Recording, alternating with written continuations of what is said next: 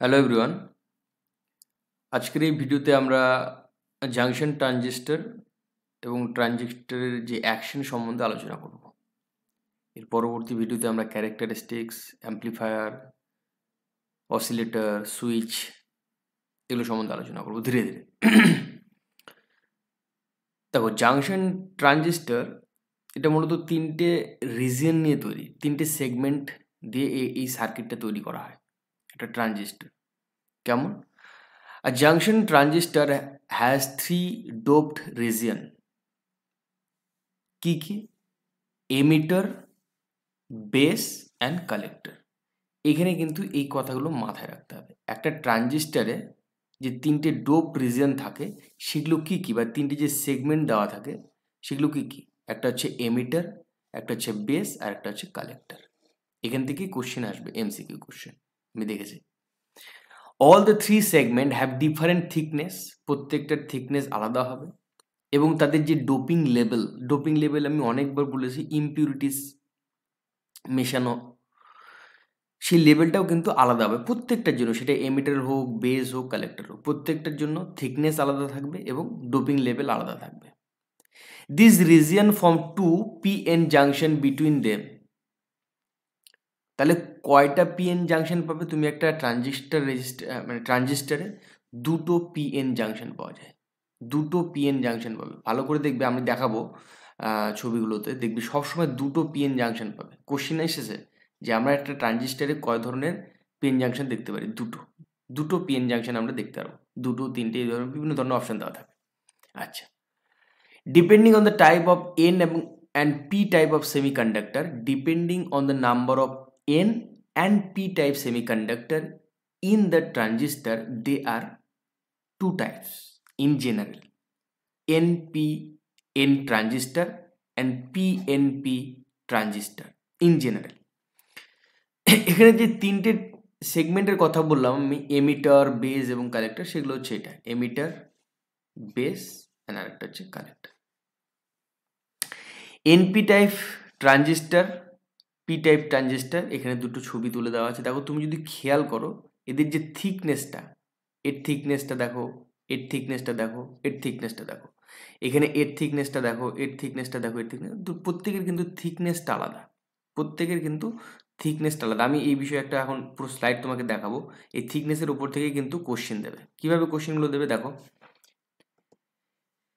Emitter base and collector এমিটারের যে characteristic সেগুলোর মধ্যে কি কি পড়ছে? This segment is on one side of the transistor একদম যে কোনো একটা প্রান্তে থাকছে। ইট হ্যাজ মডারেট সাইজ তাহলে এর যে সাইজটা হচ্ছে সে মডারেট এবং হেভিলি ডোপড ভালো করে খেয়াল করো heavily doped okay causing it to supply or emits a large number of carrier for flow of current. তাহলে এখানে কিন্তু তুমি কি পাবে? সাপ্লাইং কেরিয়ার পাবে। এখানে তোমার যে ফ্লো করবে কারেন্টটাকে এখান থেকে কিন্তু সেই সাপ্লাইটা আসবে বা এমিটস করবে। Large number of carriers will go from emitter large number of carriers carriers can be carriers can be electron or holes for semiconductor. আমরা জানি। তো এমিটারের ক্ষেত্রেও ঠিক হয় ইলেকট্রন ক্যারি করবে, নতুবা তোমার হোলস ক্যারি ক্যারি করবে, বুঝে গেল?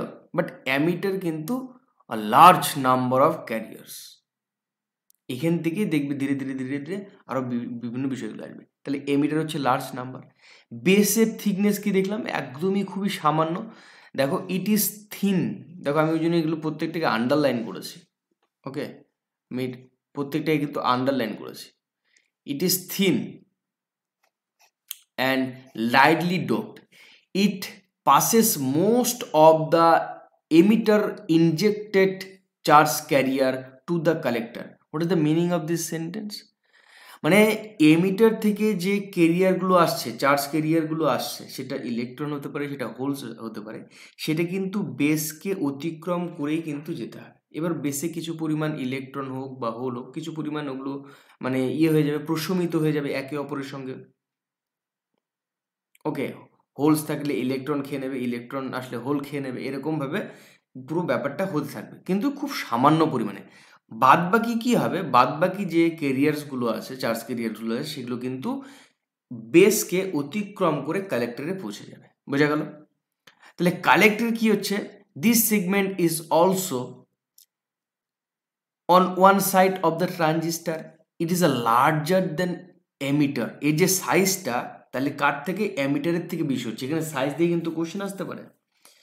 তাহলে আমরা বুঝতে পারলাম যে অ্যামিটার এবং বেস এদের দুজনের থেকে কিন্তু কালেক্টরের যে সাইজটা সেটা কিন্তু বড়।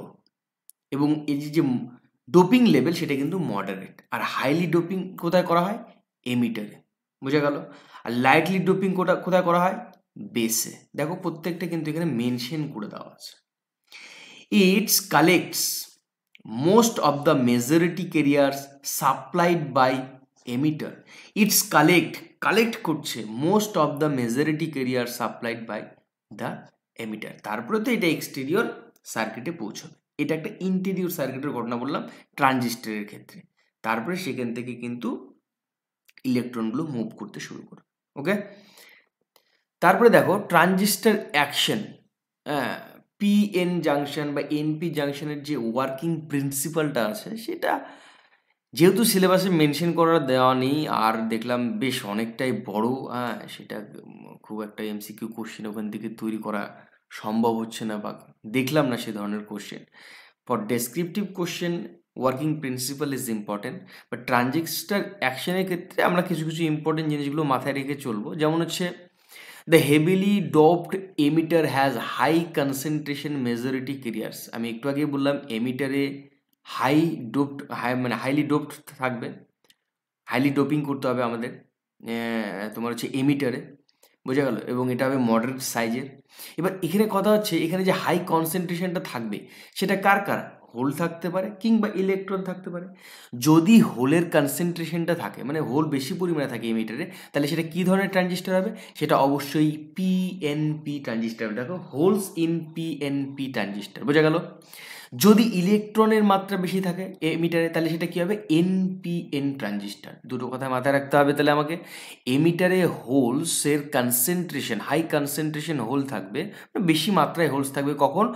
যখন সেটা পিএনপি ট্রানজিস্টার হবে। ইলেকট্রন বেশি মাত্রায় থাকবে কখন? যখন সেটা এনপিএন ট্রানজিস্টার হবে ওকে দুই নাম্বার পয়েন্ট এক নম্বর হয়ে গেল। দুই নম্বর বলছে the transistor has two PN junction আমরা একটু আগেই বললাম, কয়টা পিএন জাংশন দুটো PN junction that means it's like two diodes two diodes তাই না? দুটো পিএন জাংশন মানে দুটো ডায়েটের মতো কাজ করবে। আমরা ডায়েট হিসেবে পড়েছি এর আগে।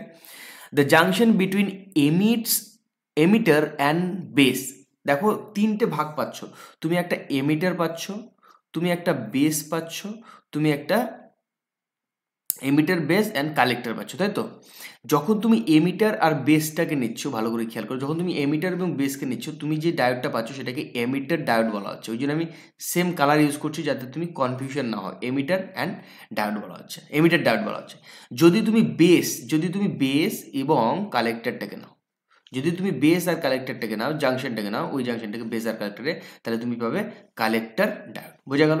এখান থেকে কোশ্চেন আসতে পারে যে এমিটার ডায়োডটা কাদের কম্বিনেশনে তৈরি হচ্ছে এবং কালেক্টর ডায়োডটা কাদের কম্বিনেশনে তৈরি হচ্ছে? তোমাকে সেই হিসেবে অ্যান্সার দিতে হবে। তারপরে এমিটার ডায়োডটাকে তুমি সবসময় কোন বায়াসে যুক্ত করবে? Forward bias very very important question এখান থেকে তো কোশ্চেন আসবেই। এমিটার বা ডায়োডকে তুমি কোন ধরনের বায়াসে যুক্ত করবে? ফরওয়ার্ড বায়াস আর রিভার্স বায়াস আমরা দুই ধরনের বায়াসই পড়েছি। আর কালেক্টর ডায়েট যেটা আছে collector diode in the sense base and collector এটাকে কোন বায়াসে থাকতে হবে? এটাকে রিভার্স বায়াসে থাকতে হবে। বোঝা গেল দুটোকে? এবং চার নম্বর কন্ডিশন বলেছে যে দ্য রেজিস্টেন্স রেজিস্টেন্স ভালো করে পড়বে the resistance of emitter diode is very small compared by collector diode the resistance of emitter diode is very small ভালো করে খেয়াল করবে, এখানে কি বলা আছে? ভেরি স্মল কার ক্ষেত্রে? এমিটার ডায়োডের ক্ষেত্রে। কার রেসপেক্টে কালেক্টর ডায়োডের রেসপেক্টে বোঝা গেল কথাটা? এইখানে কিন্তু প্রত্যেকটা পয়েন্ট কিন্তু ইম্পর্টেন্ট পয়েন্ট এখানে তোলা হয়েছে। প্রত্যেকটা পয়েন্টকে কিন্তু মাথায় রেখে চলতে হবে। এখান থেকে এমসিকিউ কোশ্চেনগুলো আসবে। দেখাবো আমি তোমাকে কি ধরনের কোশ্চেন এসছে। দেখো দুটো কোশ্চেন নেওয়া হয়েছে। ইন অ্যান এনপিএন ট্রানজিস্টার কে মানে কার কনসেন্ট্রেশন মানে কার মাত্রা বেশি থাকে? কে মানে মেজরিটি কেরিয়ার্স চার্জ কেরিয়ার্স হয়? হোলস হয় না ইলেকট্রনস হয়? Holes moves from emitter to base holes move করবে। কারণ তার মানে কি? হোলস বেশি মাত্রায় থাকছে।